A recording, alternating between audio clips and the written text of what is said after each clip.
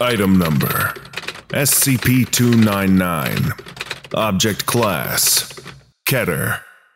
Special Containment Procedures A 200 meter wide forest of SCP 299 is to be contained in an underground biodome, Area 299, in the desert. All other specimens encountered are to be incinerated. No plant life is to come into contact with SCP-299 outside of controlled testing. Areas infested by SCP-299 should be considered Class 8 hazard zones, firebombed immediately, and monitored for four weeks. Any further infestation is to be incinerated, as well as all wildlife present on the site. Description SCP-299 is an arboriform organism characterized by black, sharp-pointed branches. Closer inspection reveals that each instance of SCP-299 is connected to neighboring trees by its roots. Prolonged contact converts these neighboring trees into another instance of SCP-299. This is SCP-299's only known method of reproduction. Addendum 2991 SCP-299 infection will result from prolonged contact with any material from SCP-299. Conversion time varies by the size of the infectee. Generally, after a few minutes of exposure, the infected plant begins to shed its leaves.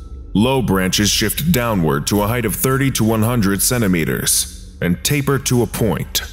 High branches retain leaves and shift towards the top of the tree forming a dense canopy and making overhead identification impossible. Addendum 2992 Microscopic analysis of low branches reveals that these points are composed of the same material as the rest of the infected plant and are remarkably sharp. Direct contact with the point of a branch from SCP-299 is unadvised, as even a sliver of SCP-299 material embedded in skin is known to produce disastrous results. Vine-like tendrils grow upward from the roots of SCP-299, reaching heights of up to 2 meters. These tendrils are prehensile and elastic. Organic objects entering close proximity are violently seized, impaled upon the lower branches, and incorporated into the organism via gradual conversion on the molecular level. Specimens of SCP-299 release chemicals known to spread throughout the immediate area and cause heightened paranoia and aggression in most animals, including humans. Under the influence of these chemicals, groups of people tend to split up and wander the forest alone, making them more likely to pass through an infested area.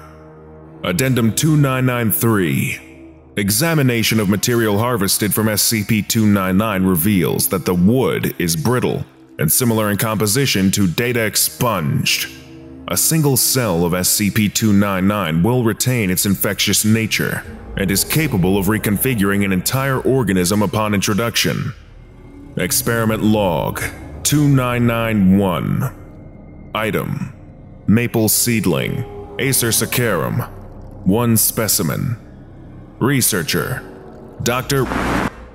Test Record A sample of matter from SCP-299 is introduced to Seedling. Over 45 minutes, the seedling is completely converted into a specimen of SCP-299, retaining its height and approximate size. Seedling incinerated. Item Oak Tree Quercus alba 1 specimen Researcher Dr. Test record. Oak tree transplanted into containment area of SCP-299. Over three hours, the tree is completely converted into a specimen of SCP-299, retaining its height and approximate size. Matter taken from new specimen is consistent with matter from neighboring specimens. Item Sunflower Helianthus annuus 1 specimen Researcher Dr. Test record. A sample of matter from SCP-299 is introduced to Sunflower. Over 10 minutes, the plant is completely converted into a specimen of SCP-299, retaining its height and size. The flower petals have blackened and tapered into spikes, consistent with SCP-299 spike branches. Tendrils are frail and incapable of grasping large objects. Specimen's trunk snapped upon introduction of researcher's foot. Remains incinerated. Item European grapevine, Vitis vinifera, confined to pot and growing upward along a trellis. One specimen. Researcher Dr. Test record. Sample of matter from SCP-299 introduced to grapevine. Subject converted within 30 minutes. Subject detached from trellis and adopted prehensile nature of SCP-299 tendrils. Spike protrudes from rooted area. Item Results of previous experiment Pig Sus domestica 1 specimen Researcher Dr. Test record Pig introduced to testing area. Subject showed signs of agitation. Upon investigation of SCP-299, subject was violently seized and constricted eventually suffocating before impalement upon a spike. Specimen was left in containment and observed for three days. Over that time, the mass of pig and tendril tissues were integrated into the main vine. Spikes grew from its base, the roots extended and tendrils grew from them, and branches grew from the top of the tree, sprouting buds and leaves. Specimen was incinerated.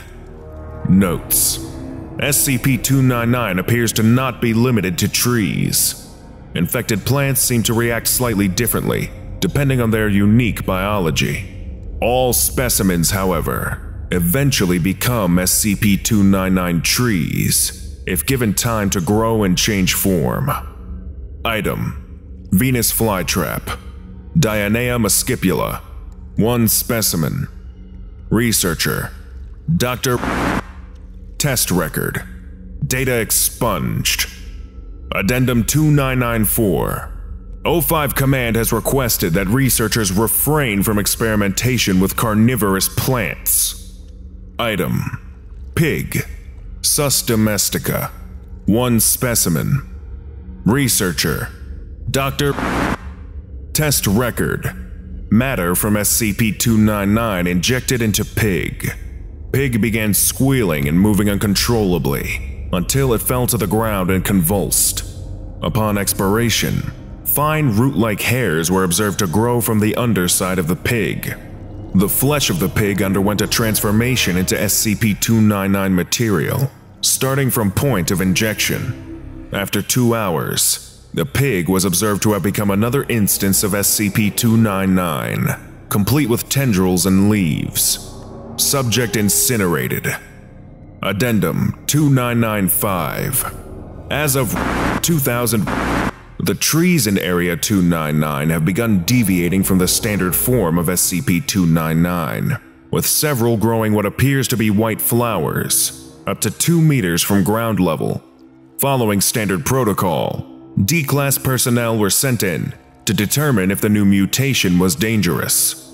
Upon approaching the flowers, the petals unfurled into highly mobile tendrils, which immediately ensnared the head of one of the D-Class before pulling him back to the tree. All personnel were immediately removed from the area and placed in a 48-hour quarantine. Subject was observed emerging from the tree line approximately 5 hours after being ensnared, apparently unharmed. Subject was then put in a separate 48-hour quarantine in accordance to protocol. Subject protested vocally against the quarantine, stating that he had to see the sun.